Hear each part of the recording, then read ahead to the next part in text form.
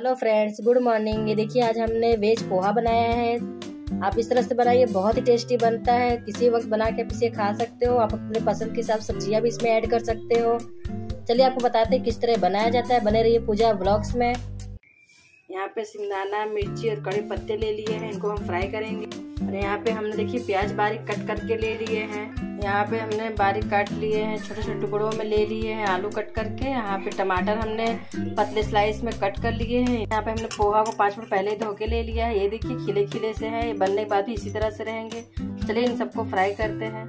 तेल डाल दिया, तेल गर्म हो गया। इसमें हम जीरा डाल देते हैं इस तरह से। इसके साथ में थोड़ा सा सरसों डाल देंगे। अच्छा लगता है ये। इनको भूनने देते हैं थोड़ी देर के लिए।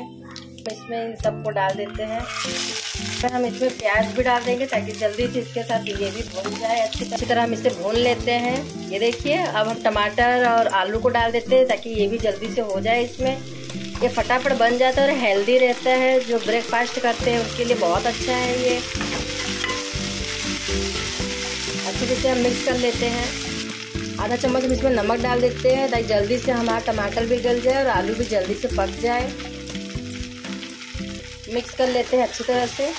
डाल देते हैं लाल मिर्चा पाउडर, आधा चम्मच हम इसमें डाल देते हैं हल्दी। आप जितना बनाइए पोहा, उस हिसाब से आप हल्दी डालिएगा। और आधा चम्मच से भी कम इसमें गरम मसाला डाल देते हैं और धनिया पाउडर भी। इस तरह से। बस ये हो गया, इसे हम फ्राई कर लेते हैं, अच्छे से मिक्स कर लेते हैं। देखिए, ये हो गया, ये बहुत लाजवाब और टेस्टी बनता है। किसी भी वक्त इसे बना के खा सकते हो ब्रेकफास्ट में लंच में या डिनर में। किसी वक्त भी आप इसे बना के खा सकते हो। देखिए, ये हो गया, अब हम इसमें पोहा डाल के अच्छे से मिक्स कर देते हैं। देखिए, इस तरह से पोहा डाल देते हैं, अच्छी तरह हम इसमें। और इसे मिक्स कर लेते हैं। और ये खिले खिले ही पोहा बनेंगे, क्योंकि हमने पाँच मिनट पहले से इसे धो के रख लिया था। ये देखिए, कितने खिले खिले हैं। मिक्स कर देते हैं इन सबको हम। देखिए हम मिक्स कर ले रहे हैं अच्छे से। देखिए, आपको पास से हम दिखा रहे हैं कितना अच्छा लगता है ये देखने में। और खाने में भी उतना ही टेस्टी बनेगा। देखिए, ये अच्छे से मिक्स हो गया। इसमें स्वाद के साथ हम नमक मिला देंगे। अब वेज पोहा इस तरह बना के खाइए। बहुत अच्छा लगेगा खाने में। और ये बच्चों को, बड़ों को, सभी को बहुत पसंद आता है। जो डाइट करते हैं, उनके लिए भी अच्छा है।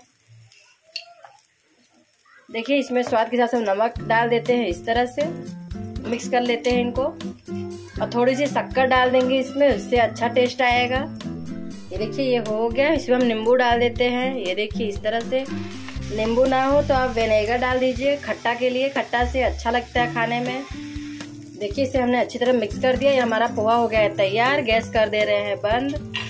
अब इसमें हम ढेर सारा धनिया पत्ती डाल देते हैं, जिससे अच्छा फ्लेवर आएगा। ये देखिए, हमारा पोहा हो गया है तैयार। है इसके ऊपर से हम धनिया पत्ती डाल दे रहे हैं इस तरह से। पसंद के रिकॉर्डिंग इसमें सब्ज़ियाँ डाल सकते हो। ये देखिए, ये हो गया। आप इस तरह से बनाइए और खाइए लंच में डिनर में किसी वक्त। आपको हमारी रेसिपी पसंद आए लाइक कीजिए शेयर कीजिए सब्सक्राइब कीजिए। बेल आइकन को ज़रूर दबाइएगा, जिससे नोटिफिकेशन आप तक पहुँच सके। Thank you